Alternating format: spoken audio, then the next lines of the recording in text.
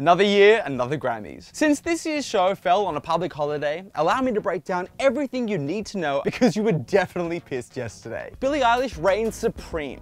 The bad guy won Record of the Year, Song of the Year, Album of the Year, and Best New Artist, aka the big four awards, making her the youngest artist in history to do so.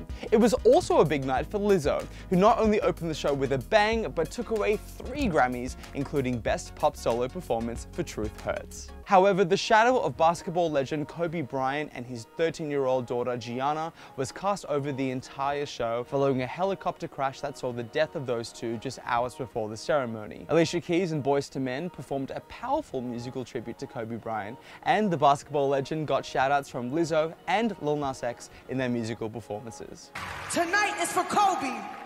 As for the performances, this year was actually pretty great. The Jonas Brothers debuted a new song with Poor Nick flexing some food in his teeth. Demi Lovato made a comeback that left no dry eye in sight, and Camila Cabello showed a whole bunch of home movies as she walked up to her bawling father. Actually, yeah, that one was kind of random. But the best performance by far goes to Lil Nas X, who brought out Billy Ray Cyrus, Diplo, BTS, and the Yodel Kid. As for snubs, let's just say the Arianators were not happy that the biggest pop star in the world right now left with absolutely nothing. Although she did get a little shout out on stage though. Can I just say that I think Ariana deserves this? Thank you next got me through some shit. Also, Lewis Capaldi copped a snub from a random person.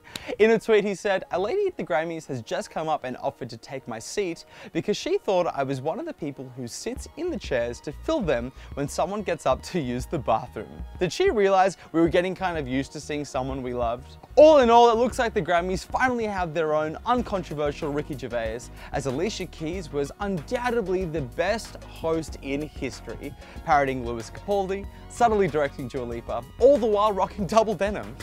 What a queen. So it looks like the Grammys have continued their tradition of indulging in one artist with all of Billie Eilish's wins. Do you think that'll change next year?